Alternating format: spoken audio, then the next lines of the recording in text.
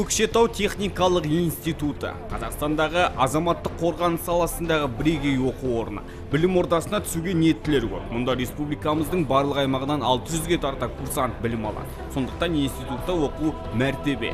Ашық күні аталмыш оқу орнының ішкі және сыртқы базасын таныстырумен бастау алды. Айта кетейік ендігі кезекте көкшетау техникалық институты оқуға бейім үміткерлерді қабылдайтын болады.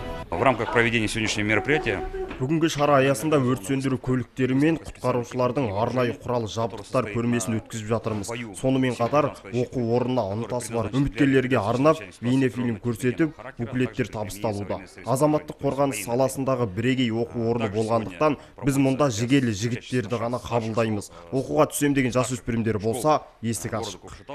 Осы сыртқы киімдер ә, азаматтық қорғау ә, күштерінің радиациялық химиялық биологиялық қаупі бар жерлерде осы костюмдер қолданады. Ә, мысалы осы костюм ол ә, костюм адамды құтқарушы немесе құтқарушыны қорғаныс пен радиациялық сәулесінен қорғайды. Осы костюм ауа жоқ кезінде ә, тыныс алуға мүмкіндік болмай жағдайда осы костюм өзін ә, демалған ауаны ә, регенеративтік патрон арқылы кислородпен ә, байытып сонымен ә, тыныс алады. Білек күші бекем денсаулығы ойдағыдай жеткіншектер бастысы институт бекіткен сындардан сүрінбей өтулері қажет. Қазақ елінің тыныштығын қоритын болашақ өрт сөндірушілерге артылған міндеттің зор екенін байқадық. Алдымен студенттер мен оқушыларға оқу орны жайлы арнайы бейнефильм көрсетіліп кейін көрме де ұйымдастырылды. Айта кетейік институт 20 жылдан астам уақытта төрт жарым мың маманды дайындап шығарған.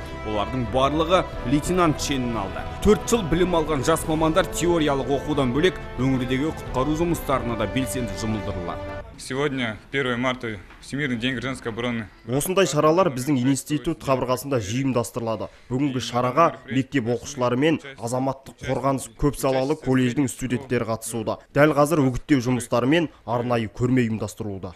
Өзгенің өмірі үшін өзінің жанын пида етуге даяр тұратын адал азаматтар ғана осы салада аянбай еңбек ете алады. Ол үшін қарулы оғлан болуың керек. Дегенмен ашық ес күніне қатысқан студенттер мен оқушылар аталмыш оқу орнының артықшылықтарына тәнті болды. Енді ғұмырын өрт сөндіру саласымен байланыстырғысы келетіндер болса мархабат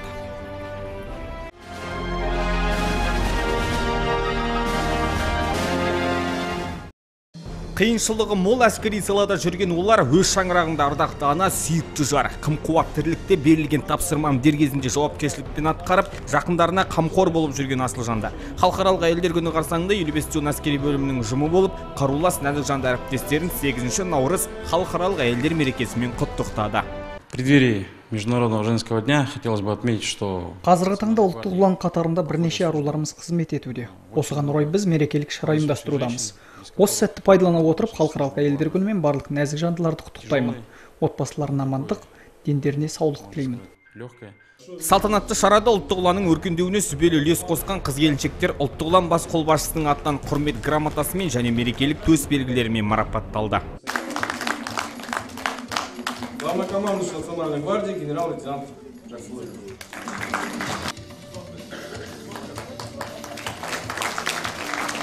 Көктемнің жарқырап келген күнімен біздің яғни әйел азаматтарының мерекесі келіп отыр. Бұл мерекеде бүгінгі күні мен біздің қазақстан республикасы ұлттық ұланы бас қолбасшысыдан міне мындай марапаттау қағазын алдым. Айта кетейік қазіргі таңда ұлттық ұлан сапында ер азаматтармен қатар екі мыңнан аса әскери арулар бар. Олар офицерлік лауазымда және әскери медициналық бөлім мен өзге де әскери салаларда жауынгерлік қызметін мүлтіксіз атқарып жүр. Салтанатты шара елу бес әскери бөлімінің жауынгерлері мен әскери қызметшілері даярлаған концерттік бағдарламаға ұласты.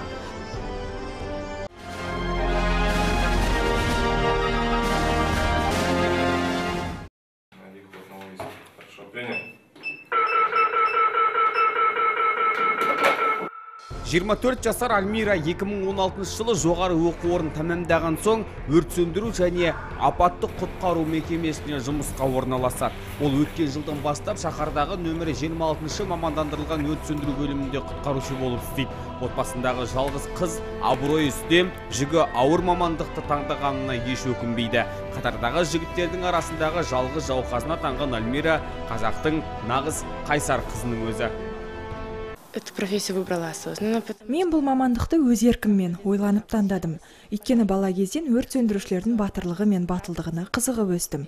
Содан да болар осы саланы таңдағаныма өкінбеймін. Себебі мұнда бәрі жақсы ойдағыдай. Ал альфия шаймерденқызының өрт сөндіру қызметінде жүргеніне 19 жыл. Алғашқы еңбек жолын есепші болып бастаған альфия кейін аттестациядан өтіп 13 жыл старшина қызметін атқарады. Әрі қарай щучинск қаласында диспетчер радиотелефоншы болады. Бүгінде техника бөлімінің инженері. Өзі көпбалалы ана.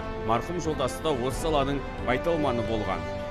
Супруг мой работал менің жұбайым ақмола облысы бойынша төтенше жағдай департаментінде қызмет атқарады. Екеуміздің бес баламыз бар. Бар байлығымыз солар. Балалар өсіп жатыр мектепке барады. Кішкентайым әзірге үйде. Өрт сөндіру және апаттық құтқару жұмыстары мемлекеттік мекемесінде жүзден астам әйел адам жұмыс істейді. Оның жетпіс жетісі погон таққан арулар. Айтулы салада нәзік жандылар көбіне диспетчерлік қызмет таңдайды. Кейін олар біліктіліктерін арттырып офицерлік құрамға ауысады. Ал көкшетаудағы бес өрт сөндіру бөлімінің әрқайсысында бір бұрымды өрт сөндірушіден бар. Әйел адамдар бізде ерлермен бірге қызметті бірге атқарады. Ешқандай және қиыншылық жағынан олар қаймықпайды ешқашан. Және бірге жауынгерлік есепке де кезекке түсіп жатады келе жатқан осы көктем мерекесімен бүкіл осы азаматтық қорғау саласында атқарып жатқан әйел қауымын келе жатқан мерекесімен құттықтап зор денсаулық мол бақыт отбасыларына құт береке. Әрдайым осылай гүлдей жайнап жүректеріне жыр толып құшақтарына гүл толып көңілдеріне нұр толып жүрсін деймін. Сол табыстарын тілеймін. Осылай біздің салада ары қаратай дамытуға үлестерін қоса берсін деймін.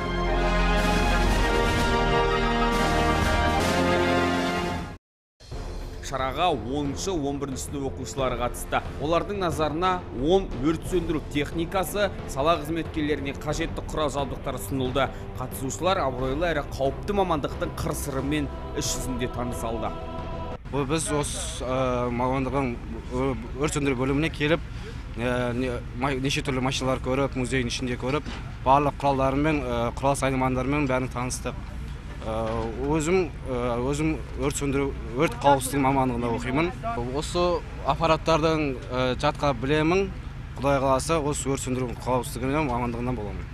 Артынша оқушылар мен студенттер өрт сөндіру бөлімінің жеке мұражайына келді. Мұнда айтулы саланың үздіктері жайында мәліметтер құнды жәдігерлер қойылған.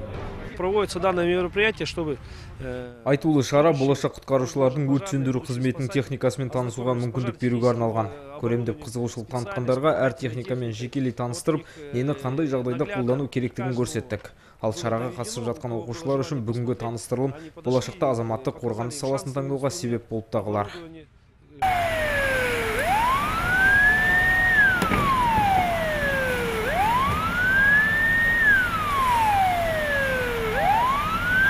Өрт сөндіру бөлімінің қызметкерлері көлік отқа оранса алғашқы көмек қалай жасалатындығын дәл осылай көрсетті. Өрт сөндірушілер мен жедел жәрдем жылдам келіп тілсіз жаудың алдын алды. Көлік ішіндегі жүргізушіні құтқарды. Бұдан кейін өртке оранған көп қабатты үйден тағы бір адамды аман алып қалудың жолдарын көрсетті.